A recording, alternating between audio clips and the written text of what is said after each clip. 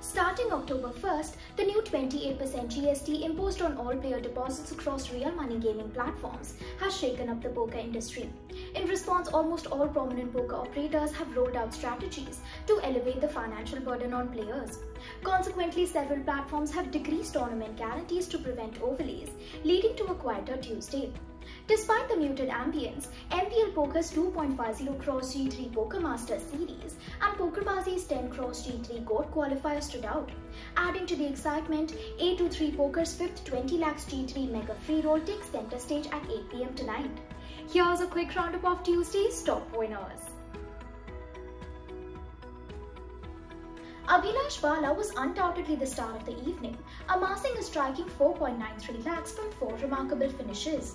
His crowning achievement was claiming PokerBaazi's The Endeavour title for a handsome 4.65 lakhs. Hot on his trail, Pocket 52 team pro Dhaval locked in the second spot with earnings of 3.53 lakhs. The user Bill Jack celebrated their inaugural victory on Adda 52, taking down the mint for a personal best 3.50 lakhs. Poker pro Vivek Singh secured the runner-up prize of 2.12 lakhs and rounded out his Tuesday run with 2.46 lakhs in total winnings. Sumit Silwal broke a four-month title drought with a stunning victory in Spartan Poker's Mega Stack, earning a career best 2.79 lakhs. The user Pavitra0609 was the next best, finishing second and netting 1.89 lakhs. Two days after a career best win in the Sunday special, Ravi Kumar Chandran clinched another standout victory in Poker PokerStars India's Bounty Builder HR, taking home 2.47 lakhs. Another PokerStars India veteran, the user J500PC, ended in second place, adding 1.62 lakhs to his tally. Feroz Khan stamped his authority in MPL Poker's Master Series Tuesday Slam, bagging 1.20 lakhs.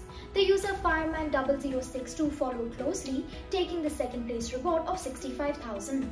Chess prodigy turned poker sensation Ishita Arora shipped PokerBaazi's daily sprint, adding 1.15 lakhs to her day's total of 1.26 lakhs. The NBoss 4.0 winner Sanish Chabra, chasing his fifth title in the event, settled for a runner-up reward of 83,483.